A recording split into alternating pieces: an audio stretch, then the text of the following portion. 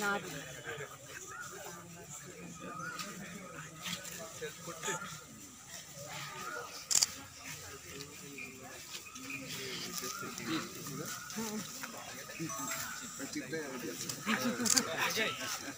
কথা শুনি না। এত লম্বা মানুষ তুমি সামনে ম্যাম আসতেছে আমি কথা শুনি আমরা সবাই স্যার যার স্যারের সাথে ছবি তুলবো টোটাল পাবলিক দাঁড়াবো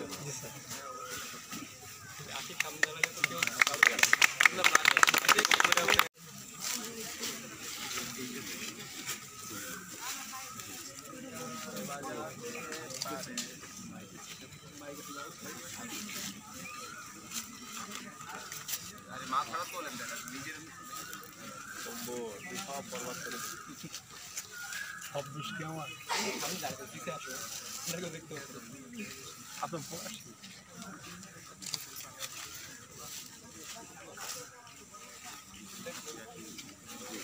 উপরে দেখতে পাচ্ছি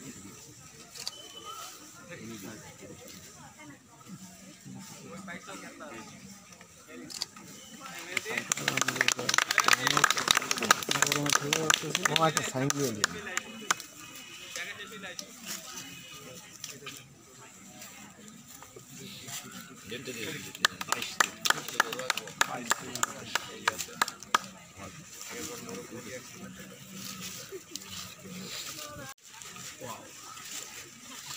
ভালো ভালো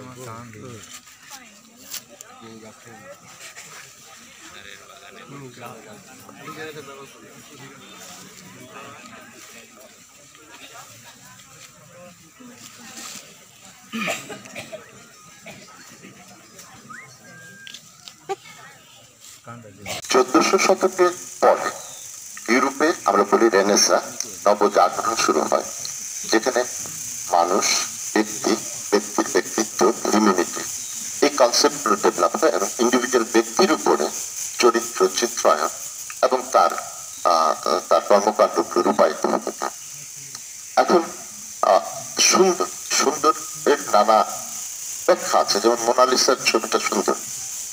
আবার সুলতানের ছবিটাও সুন্দর।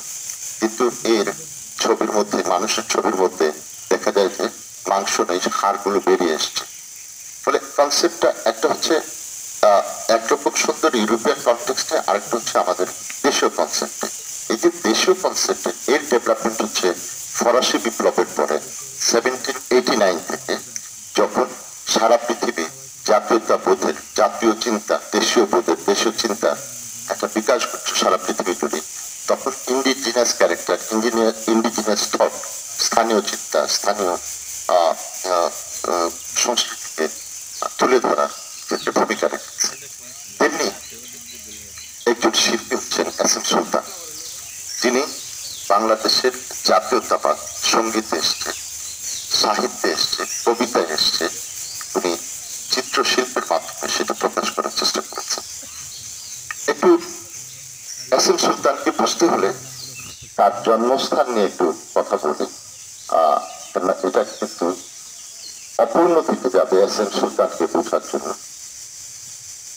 সেটা হচ্ছে ওনার বাড়ির নড়ায় চিত্রা নদীর পাড়ে, যে একটি নদীতে দেখি বদর দিয়ে মাছ ধরে ছিলেন তো অটার বদর। বদরের নাম শুনেছেন? বদর দিয়ে মাছ ধরে এটি চিত্রা নদীতে আছে, অন্য কোনো নদীতে নেই।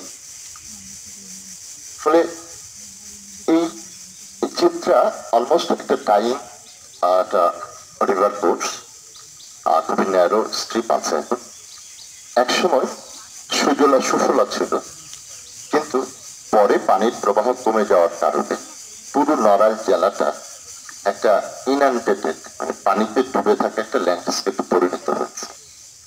ফলে পার্শ্ববর্তী ফরিদপুর, গোপালগঞ্জ বা উল্টো দিকে যশোর, কুষ্টিয়া, এটা এই অঞ্চলগুলো যেরকম ফার্টাইল নড়াইল সেই অর্থে ফার্টাইল নড়াইলে ইনান্ডেট থাকার কারণে এক ফসলি জমিতে পরিণত হয়েছে। এবং মানুষের অভাব অনেক বেশি। কিন্তু এর আবার জীব বৈচিত্র্য এবং ফ্লোরাল এভিডেন্স অনেক বেশি। প্রচুর বুশি ল্যান্ডস্কেপ বুশি ঝোপঝাড় জাতীয় বুশি ল্যান্ডস্কেপ আছে। এবং যেখানে উদ্ভিদ, প্রাণী, পাখি সব বিরাজমান।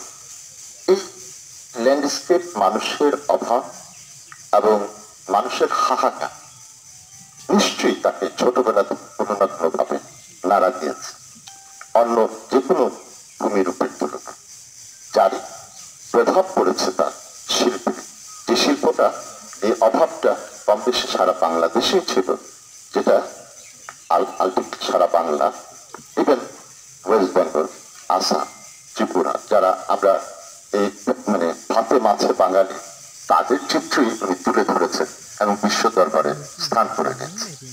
ফলে জাতীয় চেতনা জাতীয়তাবোধ এবং জাতির কৃষ্টি সংস্কৃতি তুলে ধরার একটা অদম্য বাসনা এবং প্রচেষ্টা তার মধ্যে ছিল এবং সেটাই কিন্তু রূপায়িত হয়েছে তার মাধ্যমে। আজকের এই উদ্যোগ ক্ষেত্রে আমার বক্তব্য হচ্ছে এভাবে যে এস এম সুলতান আমাদের একজন উনি শিল্পী উনি মানুষ, শ্রদ্ধাভাজন একজন মানুষ। তিনি তিরিশ চল্লিশ, পঞ্চাশ, ষাটের দশকের মানুষের দুঃখ, দুর্দশার কথা বলেছেন এবং মানুষের মুক্তির কথা চিন্তা করেছেন একটি শিল্পের মাধ্যমে। আজকে দুই হাজার আঠারো, উনিশ সাল মানে এই দশকগুলোর মানুষের অভাব, চিন্তা কিন্তু একটু ভিন্ন।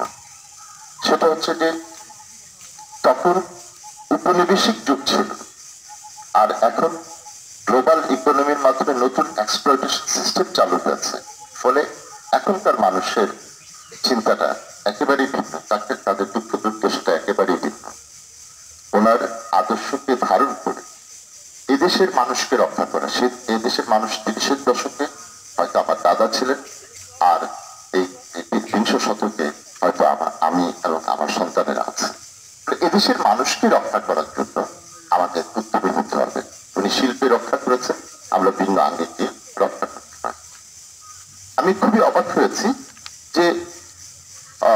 ভারতে একটি স্টেট খুবই পপুলার সেই সেটা হচ্ছে রাজস্থান। রাজস্থান, আপনারা জানেন যে অত্যন্ত মরু এলাকা, সেখানে গাছপালা নেই বললে চলে অথচ ওরা বিখ্যাত বুটিতে ওরা বিখ্যাত হচ্ছে বুটিক, অর্থাৎ বুটিক শিল্পে ওরা বিখ্যাত। এবং স্থানীয় ভেষজ উৎপাদন সারা ভারত থেকে তারা কালেক্ট করে আমরা এই বান্ধনী শাড়ি বা বুটিক শিল্পটা